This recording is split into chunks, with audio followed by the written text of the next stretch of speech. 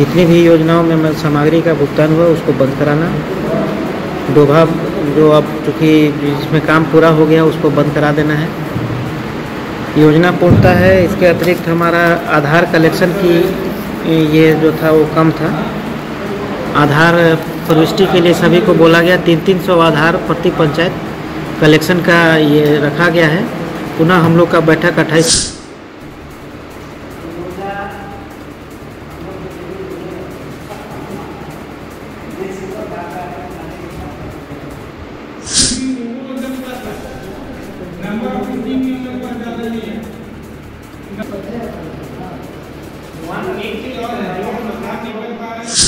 धुरकी प्रखंड कार्यालय में मनरेगा बीपीओ ने बैठक कर भुगतान हो चुके सभी योजनाओं को बंद करने के लिए दिए निर्देश। धुरकी प्रखंड कार्यालय परिसर के मीटिंग हॉल में मनरेगा के प्रभारी बीपीओ चंद्रशेखर चौबे ने सोमवार को सभी पंचायत के पंचायत सेवक और मनरेगा कर्मी के साथ बैठक किया।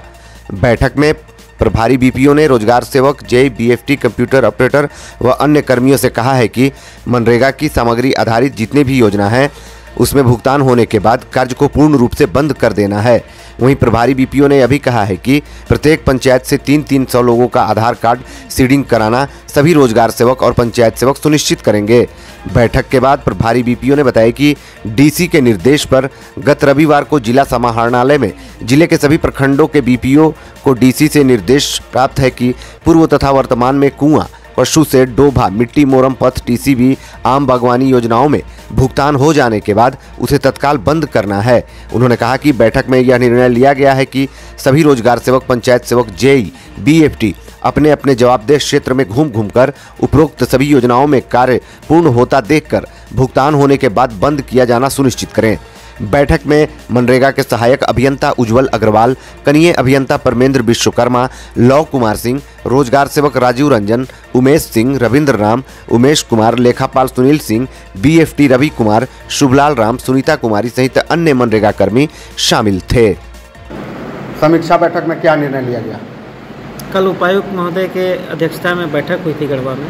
वहाँ पे निर्देश दिया गया था। उस निर्देश के अनुपालन हेतु आज हम लोग बैठक किए हैं। इसमें योजना की पूर्णता पर विशेष फोकस देते हुए जितनी भी योजनाओं में सामग्री का भुगतान हुआ उसको बंद कराना, डोभा, जो अब चूँकि जिसमें काम पूरा हो गया उसको बंद करा देना है। योजना पूर्णता है, इसके अतिरिक्त हमारा आधार कलेक्शन की, ये जो था वो कम था।